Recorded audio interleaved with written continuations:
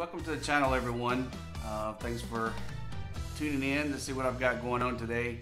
I am solving the problem with FJ80 series Land Cruisers and not having cup holders.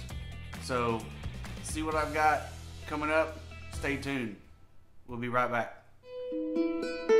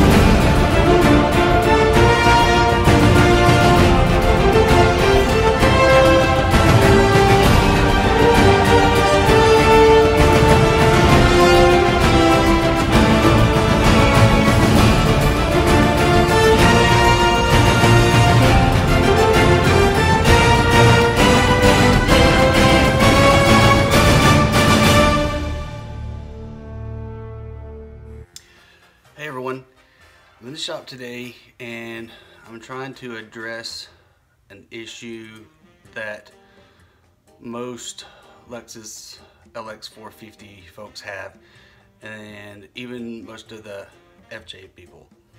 We do not have a lot of um, console space nor do we have cup holder. Once again I'm going to say that this is um, this is going to be an overland rig, so it's not my luxury car. It's not something that uh, is going to be standard. It's going to be heavily modified. So taking the top armrest, which you can see the hinge here, which goes up and down, okay? I'm taking this off, and it's in good shape. So what I've done, because all of my dash and console is going to be modified anyway. I've got stands for my, my nav system, my tablet, my UHF radio, and all that stuff that's up there already. So it, it's, it's all going to be um, a little different. So I'm trying to make it better. So what I've done is that I have cut a piece of oak, this plywood, but I sanded it down, rounded all the corners, and there is a bracket that goes onto the back of here with two bolts in it. It's a half an inch tall, it's about five inches wide.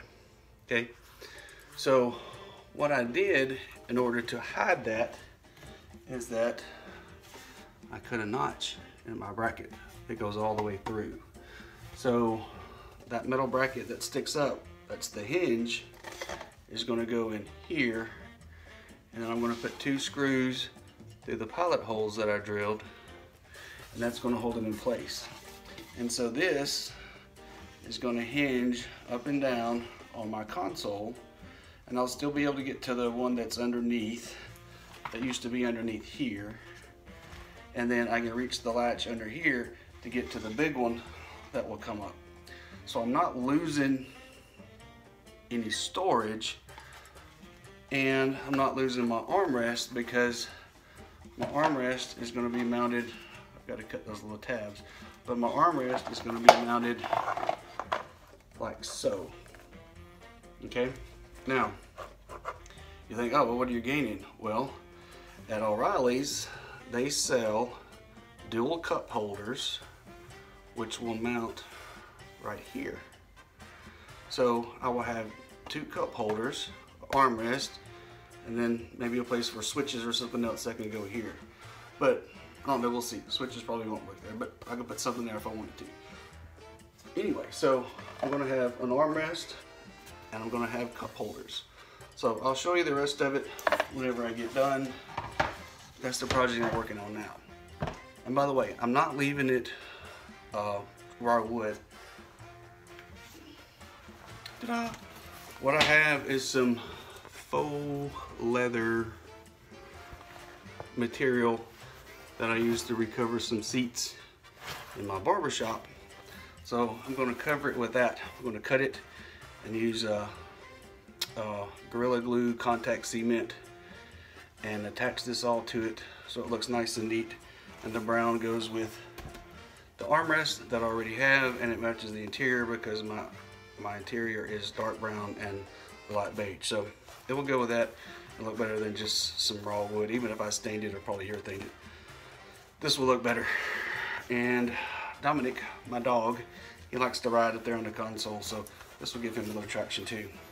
So I'm gonna get on with it. I took some pictures of what I've been doing, and I'll take some video back out inside Nimbus so you can see what uh, is going on there. Um, and we'll see how it works. I know I looked at some other used consoles that had the cup holders in them. You know, they get 200, 250, some of them $300 for some of these things. Um, and I like my subwoofer that's in mine. It works good, so I didn't necessarily want to lose that. Um, and I don't carry a lot of drinks anyway, but I figure on the trail I need something.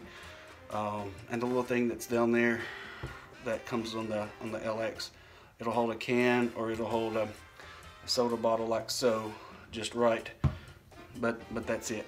And I think I'll still be able to get a can in there. I'm not sure if I'll be able to get a 20 ounce bottle. It might be too tall this way, maybe. We'll see though. So I'm not doing anything that can't be undone.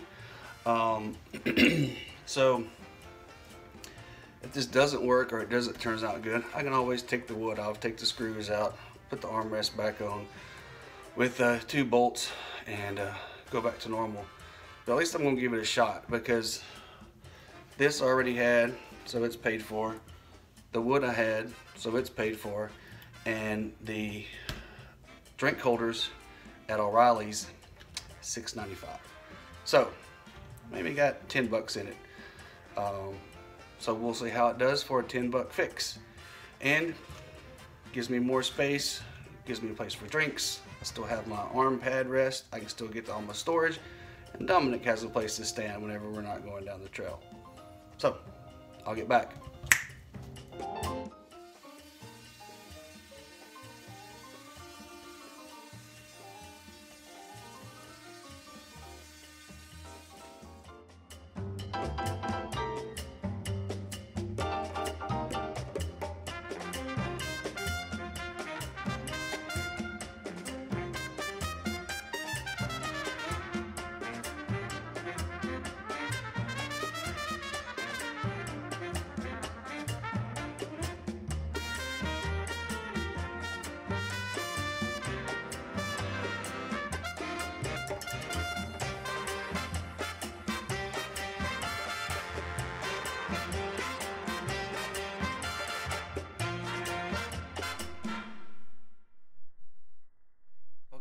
So you saw me the time lapse. I put the spray adhesive down. My nozzle stopped up right as I started, so I had to stop and clean it out.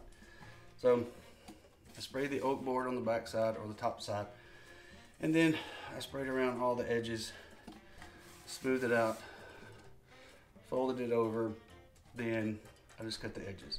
I didn't do that great a job on the edges with the glue, but I'll get some more of that and glue that down so that'll be just fine. So that's what it's gonna look like. And then you'll see the rest of it shortly.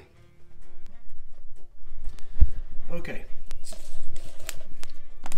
I have now screwed down the cup holder with the screws that came provided.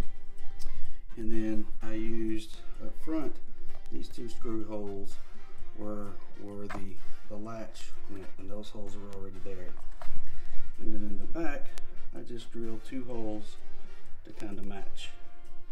And then this is the bottom plate that I took off from inside of here. You can see there's where the lock screws were, and those are where the hinge screws were. Okay, so I don't want to glue this down so I can't ever get it back up. So I have some super heavy duty Velcro. sticks on both sides. So I've already tested it. So I'm going to put a piece in each one of these slots because these little rails here, they actually touch over here. So if I put them there, it's going to make it too high. So I'm going to attach those in there, peel them off, and put them on here, and then I think we're going to be good. I'll let you know in a second. So this stuff is really hard to get off because it's so sticky. So with the magic of video, there we go. It's only going to take just a second. Okay, so here we go. Screwed it down, put the Velcro on there. Voila. So that's the finished product in the shop. And I've already marked the two pilot holes here. So I'm gonna go put it in the uh, in Nimbus, screw it in, see how it looks. It's pretty dark outside, but I'll uh, put on my headlight or something so you can see. Okay, so my battery's about to die. Let's see, let's turn on the switch. Okay, so there we can see what it looks like. I still have that.